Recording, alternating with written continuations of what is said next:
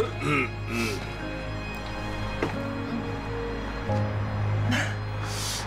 눈에 먼지가 들어가서요. 뭐 줄 거 있다면서요. 가져왔어요? 어. 자, 뭐예요? 구두요.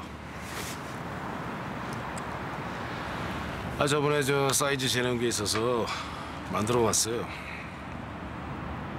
선물이에요.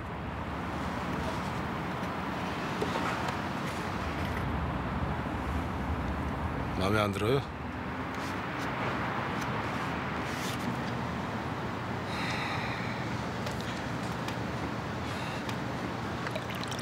뭔 일인지는 몰라도 한 잔 마시고 털어버리시오.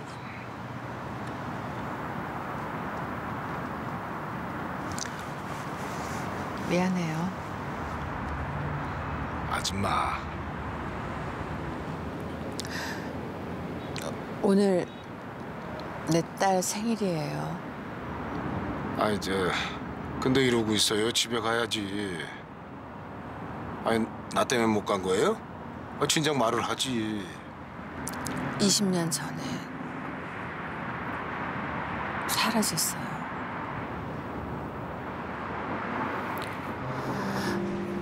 오늘처럼 화창한 날이었어요. 아침 일찍부터 일어나서 자기 생일이라고 조잘조잘 얼마나 좋아했는지 몰라요.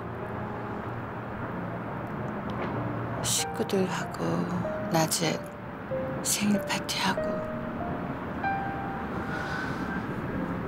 잠깐 집 앞에 나가서 놀겠다고 나갔는데